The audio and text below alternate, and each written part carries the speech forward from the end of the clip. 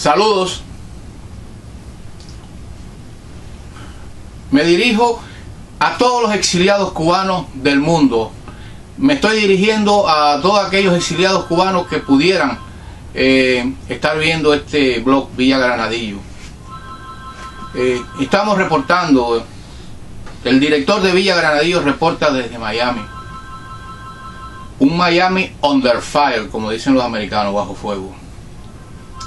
La razón que viene de La Habana eh, ha decidido dar el jaque mate al exilio cubano, a la Cuba del Norte, y lanzarnos al mar, de Biscayne.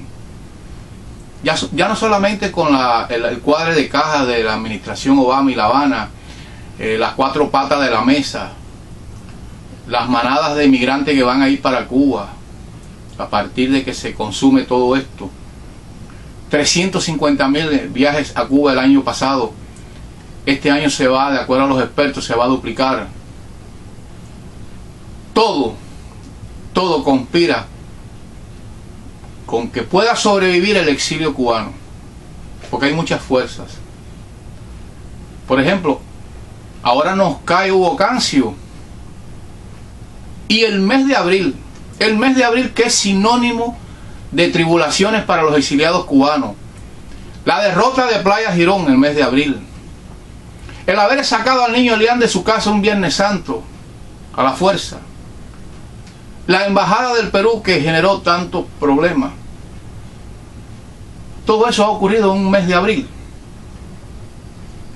El comandante Juanes quiso hacer un concierto en, en el mes de abril y se dio cuenta de que él no es bien visto a partir de que fue allá a la Plaza de la Revolución por, el exilio cubano de Miami y finalmente dio unas declaraciones donde no quería eh, eh, humillar, no quería hacerle daño al exilio eh, actuando un 15 de abril que es sinónimo de la derrota de Playa Girón porque este mes de abril se cumplen 50 años de aquella epopeya que fue Bahía de Cochino.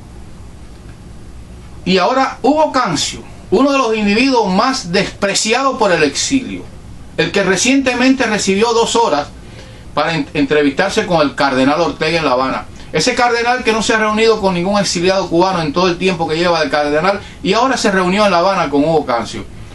Hugo Cancio, un individuo que dijo en una ocasión que los problemas de, de los cubanos anteriores a él no le importaban, eran los problemas de él. Algo así dijo pero me quedó grabado en la mente. Hugo Cancio es el que ha retado al exilio durante años. Lo que pasa es que cuando Bush se tranquilizó, se puso a dormir porque no podía hacer nada. Ahora se reactiva con Obama. Y desde que Obama cogió la rienda de la Casa Blanca, dijo, traeré a Miami todos los artistas de Cuba. Bueno, pues va a traer un festival a Homestead. Esa periferia del Miami-Dade County Auditorio donde los cubanos, en gran parte campesinos, han hecho un milagro agronómico. Han cultivado todo tipo de viandas, de verduras, hasta el maíz para hacer ayaca o tamales, como se le quiera decir, es decir, que han hecho un milagro, producto de su fue sacrificio. Bueno, pues ahí en Homestead van a venir traído por Hugo Cancio, el mes de abril, el mes de la derrota de Playa Girón y de la epopeya de Bahía de Cochino, los Bambam, David Calzado, el de la charanga habanera, los del Ministerio Interior Buena Fe, gente de zona, unos patanes que no saben ni hablar, los cuatro salvajes, imaginémonos, los confidentes, imagínate, los cederistas, Manolín, el médico de la salsa que lleva aquí un tiempo y que no se acaba de adaptar y se ha convertido en el transfuga número uno.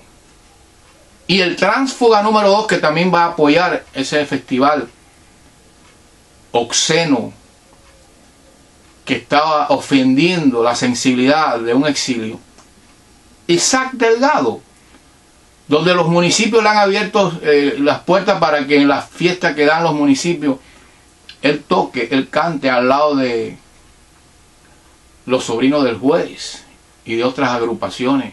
Bueno, pues va a estar ahora con los Bambán, un Juan Formel, el padre de la zafra de los 10 millones, el amenizador, va a estar con gente que apoyan al régimen. Ahora mismo Fran Juan Formel ha hecho tremendas declaraciones a favor del régimen en La Habana.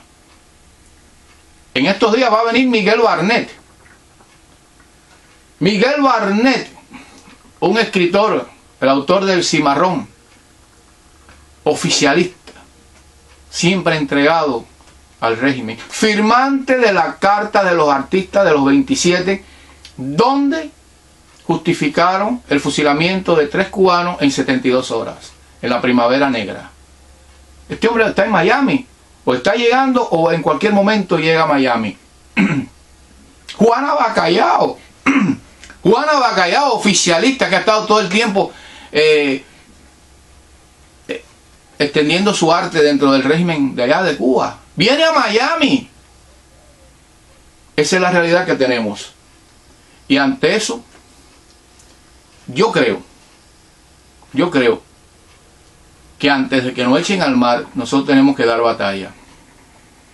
Y como dije en unas declaraciones ayer, en dos YouTube, donde se han agotado todas las eh, iniciativas para cambiar la historia de Cuba. Bueno, pues ya lo que tenemos que hacer es tratar de defender este pedacito, esta Cuba del norte, este pedacito que nos queda y que nos quieren arrebatar, donde hay muchos cómplices, muchos, demasiados. Yo creo que la fórmula, aunque parezca descabellada, es no viajar a Cuba los exiliados, no estoy diciendo los emigrantes, porque a los inmigrantes les importa un bledo y van a ir y seguir yendo yendo a Cuba porque ellos están en otra cosa. Pero yo le hago un llamado a todo exiliado cubano que pueda ver este blog a lo largo y ancho del mundo. Ya tengo reacciones de, de Europa, de lo que se dijo ayer.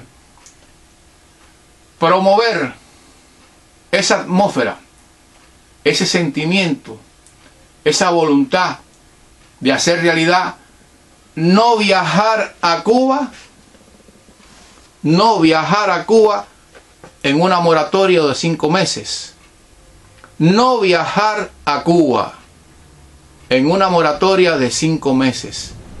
Esa pudiera ser una respuesta a esta invasión de unos de estos Atila que han decidido que han decidido acabar con la resistencia del exilio cubano en Miami.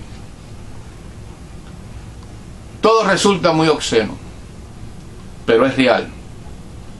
Estamos viendo, por ejemplo, eh, que ya Hugo Cancio eh, no se extralimita para retar a este exilio. ¿Qué más va a hacer? Un festival en el mes de abril en Homestead. Yo creo que es hora de seriamente dirigirnos a las autoridades que gobiernan esta zona, a los alcaldes, a los comisionados, a las fuerzas vivas, porque hay algo interesante. En la entrevista que le hacen a Hugo Cancio para esto del festival, entrevistan a Jaime Susliski, un académico cubano de la universidad, y dio a entender que no tenía inconveniente que vinieran a Miami esta gente, estos salvajes, estos rompe bloqueos, siempre y cuando dejaran ir allá a Willy Chirino eh, y a otros artistas de aquí. Eso es una posición muy light ante los momentos que estamos viviendo ahora, que es totalmente de un ataque por todos los lugares, por los cuatro vientos, es un ataque total para dar el jaque mate al exilio.